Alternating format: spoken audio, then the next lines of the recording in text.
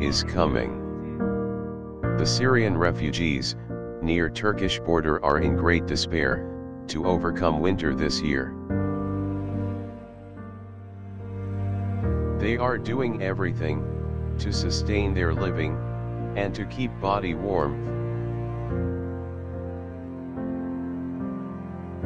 Therefore, Muslim Care Global, together with IHH Humanitarian Relief Foundation, are collecting funds to support the cost operation for bread factory in Turkey.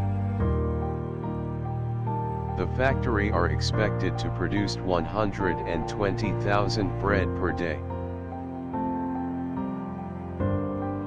Which, will be supplied to Syrian refugee camp, near Turkish border.